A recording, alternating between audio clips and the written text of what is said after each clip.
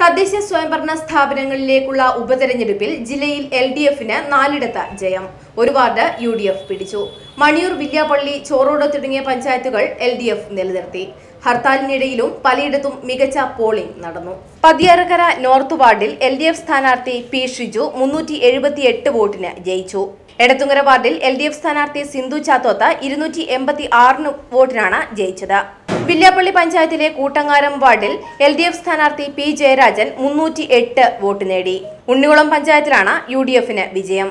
പഞ്ചായത്തിലെ നെരോത്ത് വാർഡിൽ U D F സ്ഥാനാർത്ഥി അഹമ്മദ് ജുനൈദ് ഒറവങ്കര എൺപത്തിരണ്ട് വോട്ടിന് വിജയിച്ചു. ചോറോട് പഞ്ചായത്തിലെ കൊളങ്ങാട് താഴവാർഡിൽ എൽ ഡി എഫ് സ്ഥാനാർത്ഥി പി പി ചന്ദ്രശേഖരൻ എൺപത്തിനാല് വോട്ടിനാണ് ജയിച്ചത്.